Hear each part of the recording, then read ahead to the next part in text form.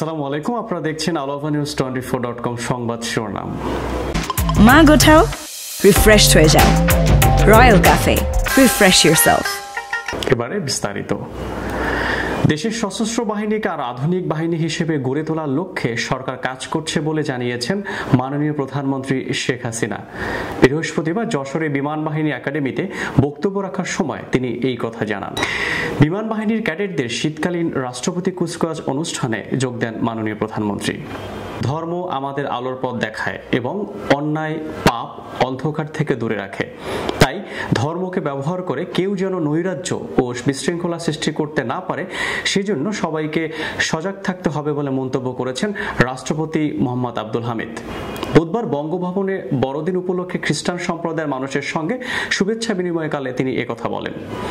যুবকদের যেন কেউ ধর্মের নামে বিভ্রান্ত করতে না পারে, সেজন্য বিশেষ নজর রাখতে অভিভাবকদের আরও ইতিবাচক ভূমিকা রাখার আহ্বান জানান রাষ্ট্রপতি।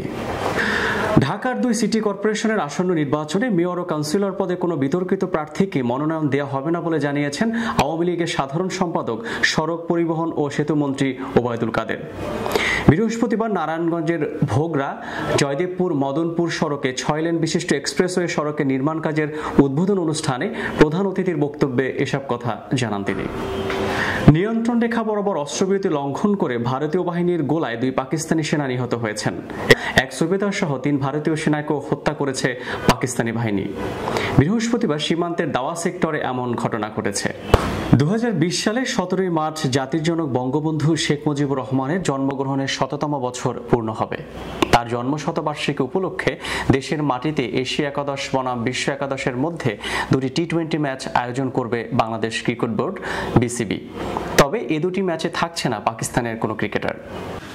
সুপ্রিয় দর্শক, আমাদের এখনকার মতো সংবাদ এ পর্যন্তই। আমাদের পরবর্তী সংবাদ দেখার আমন্ত্রণ রইল।